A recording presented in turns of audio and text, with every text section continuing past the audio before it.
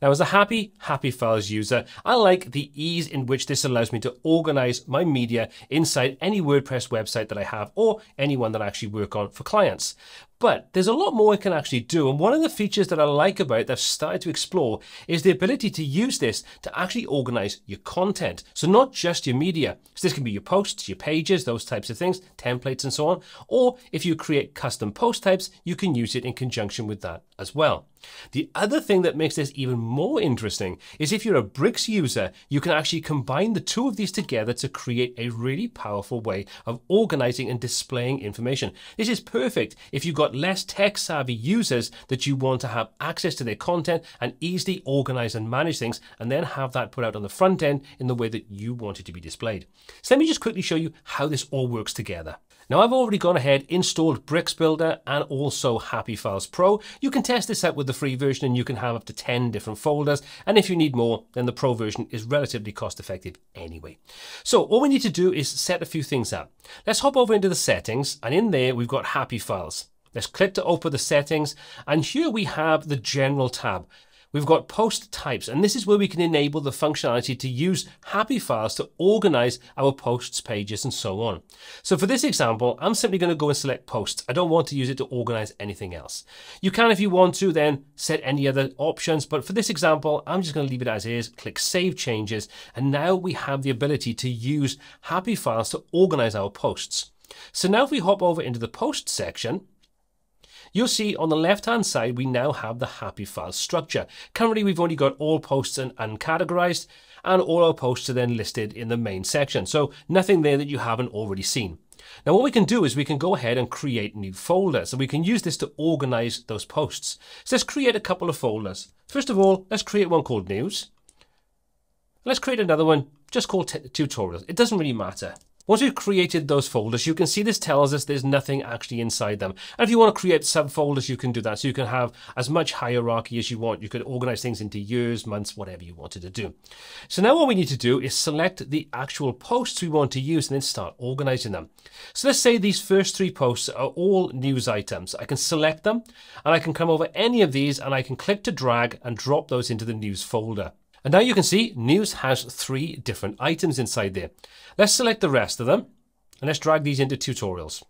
So now we organize things how we want to organize them. Now this is no real difference to using tags or using categories as part of WordPress. However, this just gives you a nice visual, easy drag and drop method, which for end users who may not be that tech savvy, could be a really nice simple way of displaying and organizing things. So now we've done that, we've organized some bits and pieces. Let's go into news and you can see there's our three items. Go into tutorials, there's our seven items. And before I go any further, let me just quickly say this is totally non-destructive.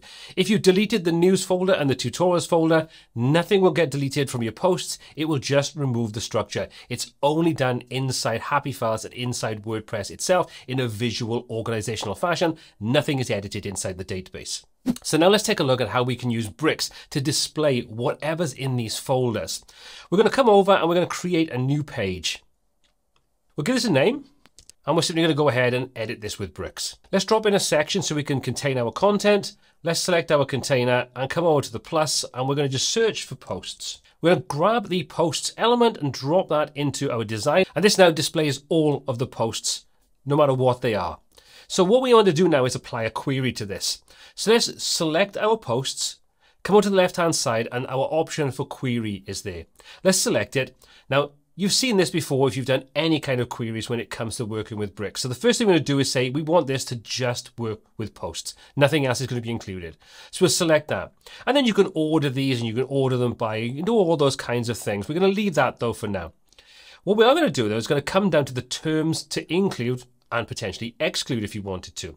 So now if we click on this, you can see we've got tags and categories and so on inside here.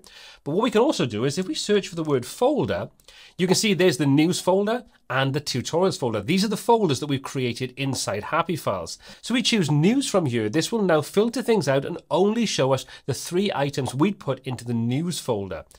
If we remove that, choose to select terms again, and we'll do folder one more time, and this time we'll choose the option for tutorials, you can see this now gives us the remainder, in this example, 7. You can also, if you want to, add more inside here. So you can say you wanted to put two folders. Well, we we've already got the tutorials. Now we can choose news and that will then show all 10. But what this allows us to do is very easily create a way of allowing people to drag and drop to organize things in a visual fashion using HappyFiles and then display that on the front end using only Bricks Builder and a query. It's pretty cool. So let's go ahead and preview this. You can see if we preview it, we've got our seven posts. So let's hop back over now into our dashboard and into our posts.